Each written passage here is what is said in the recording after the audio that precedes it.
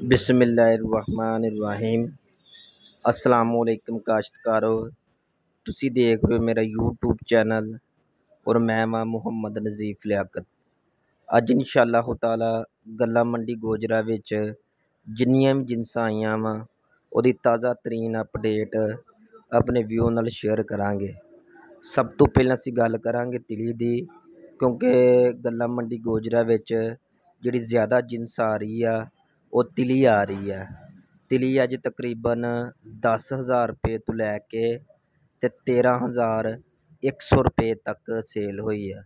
ਮੈਂ ਤਿਲੀ ਦਾ ਰੇਟ ਦੁਬਾਰਾ ਰਿਪੀਟ ਕਰ ਦਿੰਦਾ ਤਿਲੀ ਤਕਰੀਬਨ 13000 ਰੁਪਏ ਤੋਂ ਸੋਰੀ ਦਸ ਹਜ਼ਾਰ ਰੁਪਏ ਤੋਂ ਲੈ ਕੇ ਅਤੇ ਤੇਰ੍ਹਾਂ ਹਜ਼ਾਰ ਇੱਕ ਸੌ ਰੁਪਏ ਤੱਕ ਸੇਲ ਹੋਈ ਹੈ।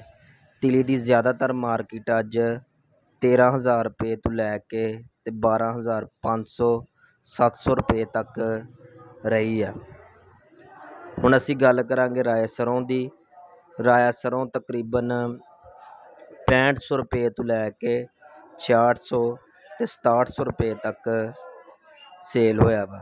ਹੁਣ ਅਸੀਂ ਗੱਲ ਕਰਾਂਗੇ ਬਾਰੀਆ ਮੱਕੀ ਦੀ, ਕਿਉਂਕਿ ਬਾਰੀਆ ਮੱਕੀ ਦੇ ਰੇਟ ਵਿੱਚ ਮਾਸ਼ਾਅੱਲਾ ਅੱਛਾ ਖਾਸਾ ਇਜ਼ਾਫਾ ਹੋਇਆ ਵਾ। ਪਹਿਲਾਂ ਬਾਰੀਆ ਮੱਕੀ ਦੇ ਰੇਟ ਦੇ ਹਵਾਲੇ ਨਾਲ ਦੱਸ ਦਈਏ ਕਿਉਂਕਿ ਮੰਡੀ ਦੇ ਵਿੱਚ ਇਸ ਟਾਈਮ ਭਾਰੀਆ ਮੱਕੀ ਬਹੁਤ ਹੀ ਘੱਟ ਆ ਰਹੀ ਆ। ਚੰਦ ਆੜਤਾਂ 'ਚ ਇੱਕ ਦੋ ਢੇਰੀ ਆ ਰਹੀ ਹੈ ਭਾਰੀਆ ਮੱਕੀ ਅੱਜ ਤਕਰੀਬਨ 2850 ਰੁਪਏ ਤੱਕ ਸੇਲ ਹੋਈ ਆ। ਕੁਛ ਦੋਸਤ ਆਪਣਾ ਲੋਕਾਂ ਨੂੰ ਗਲਤ ਅਵੇਅਰਨੈਸ ਦੇ ਰਿਹਾ ਕਿ ਭਾਰੀਆ ਮੱਕੀ ਦਾ ਰੇਟ ਜਿਹੜਾ ਵਾ ਉਨੱਤੀ ਸੌ ਤਿੰਨ ਹਜ਼ਾਰ ਰੁਪਏ ਹੋ ਗਿਆ ਵਾ। ਲੇਕਿਨ ਜਿਹੜੀ ਅੱਛੀ ਅੱਜ ਮੱਕੀ ਟਾਪ ਕਲਾਸ ਦੀ ਸੇਲ ਹੋਈ ਆ ਉਹ ਅਠਾਈ ਸੌ ਅਤੇ ਪੰਜਾਹ ਰੁਪਏ ਨੂੰ ਸੇਲ ਹੋਈ ਆ।